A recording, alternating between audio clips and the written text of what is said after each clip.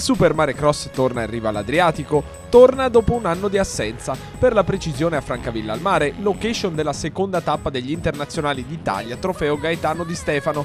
Nella terra del team pluricampione Pardi Racing si sono sfidati gli specialisti della sabbia tra i percorsi insidiosi del tracciato. Seconda tappa che segue quella di settimana scorsa disputata a Bacoli per un Super Mare Cross 2011 che riserva, come sempre, conferme e anche tante sorprese. Protagonisti i centauri delle dune, presenti tra loro anche molti provenienti dal Veneto. All'orizzonte c'è la tappa di casa, quella di Bibbione di aprile, da affrontare cercando di studiare al meglio i prossimi avversari. Per Francavilla, da sempre palcoscenico di questa gara emozionante, un ritorno alla grande e d'altronde il tracciato e il mare Adriatico non potevano che essere i presupposti di uno spettacolo di altissimo livello.